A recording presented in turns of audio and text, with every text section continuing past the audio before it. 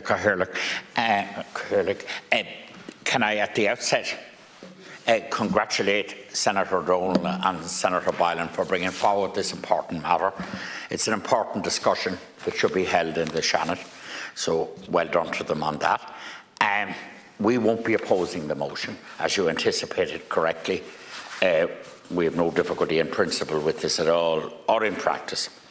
Um, I suppose the first thing I'd raise with you, though, is I assume that this office would be available to people in Ulster generally, that it wouldn't be a question of available in the six counties that constitute Northern Ireland that would be available in Connacht, you know, because it, it would be important for Cavan, Monaghan and Donegal and indeed Louth to be able to access the office and use it.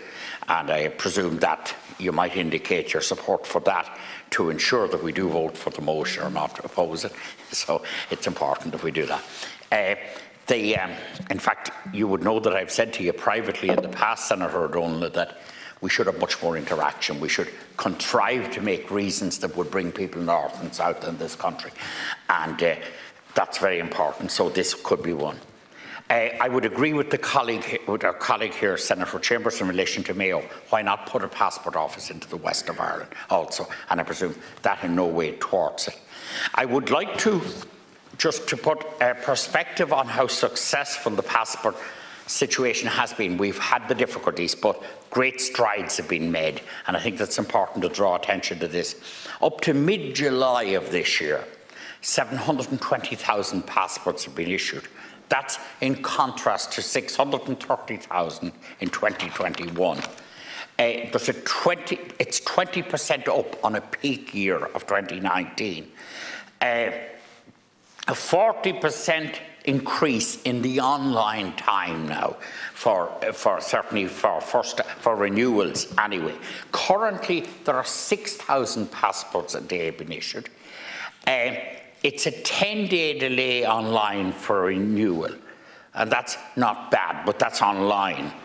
Uh, since July, or June rather, I think 570 new staff have been recruited into the passport office. And these are good things. That's not to suggest there wasn't a problem, but I do want to say that government are addressing the problem with vigour and with a huge amount of success.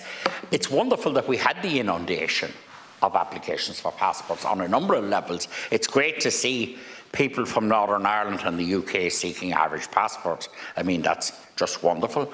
It's something to be very proud of as a country. We've come a long way that we're at that point, and that's good.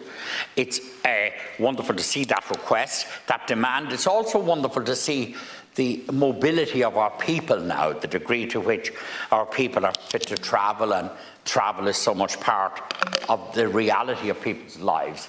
Myself and Senator Craughwell occasionally here reminisce about life when we were younger and talk about how it mightn't have been as ideal as we like to romanticize it retrospectively and that we've had those discussions here in public a few times but I can certainly say looking back to my childhood airfare was prohibitive for most people. It was a very rare thing that people would get on holidays. It was a very rare thing that long-term, even successful immigrants would get home, uh, particularly if they were in America or beyond the UK. So all of the, it's great progress. It's great to see a mobility among people, a travel thing there, and people you know, living in a wider world and a wider landscape and wider experience. So that's good. It's good to see the demand for passports. It's good that we're addressing that demand, and we should.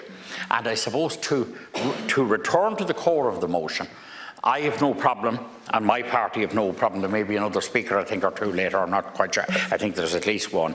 And they'll be indicating similarly. We'll be supporting the motion.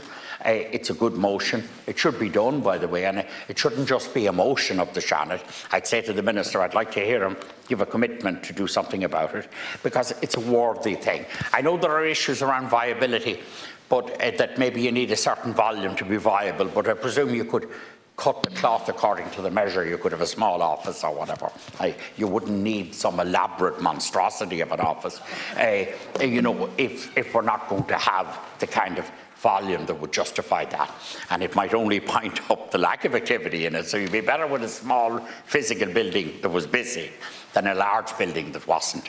So it's a good motion, it's a good discussion, and it's the Seanad addressing a real issue, and I think could be good if it was also to cause a greater movement. And something I personally I must come back to have a big thing about we should do it through the sports capital grants, we should do it through a number of ways, mechanisms to bring people up north.